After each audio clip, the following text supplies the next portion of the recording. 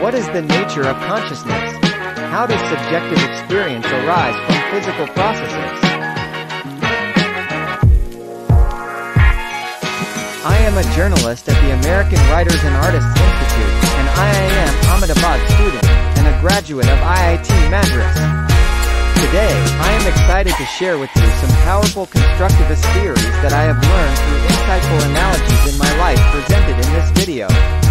Please like, comment, and subscribe if you want to learn more.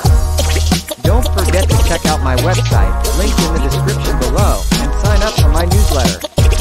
Consciousness is a topic that has intrigued humans for centuries. Despite the advancements in science and technology, the nature of consciousness and how it arises from physical processes is still a subject of debate and study in both philosophy and neuroscience.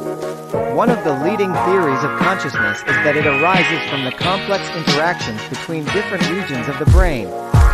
This theory is widely accepted by many neuroscientists and philosophers, although the exact mechanisms that underlie subjective experience are still not fully understood. According to this theory, consciousness is not a single, unified entity, but rather a dynamic process that emerges from the interactions between different neural systems. Different regions of the brain are believed to be responsible for different aspects of consciousness, such as perception, attention, memory, and emotion. These regions work together in a highly complex and coordinated manner to produce our subjective experience of the world around us. While this theory of consciousness has gained significant traction in recent years, there are still many unanswered questions about how it arises from physical processes.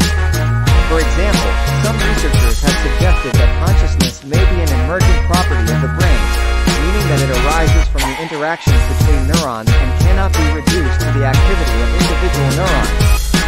Others have proposed that consciousness may be related to quantum processes in the brain, although this hypothesis is highly controversial and not widely accepted. Overall, the study of consciousness is a fascinating and complex field that has the potential to shed light on some of the most fundamental questions about the nature of existence and the human experience. Further, please find details below. To become a member of our exclusive leadership, click the link below in the description. The procedure takes about two minutes to complete. You can cancel your subscription from your PayPal account at any moment. Subscribe to my channel by pressing the bell symbol, liking the video, and leaving a comment below. Thank you so much for everything. Gratitude presents the most universal form of love and expression. I am a writer who lives in India.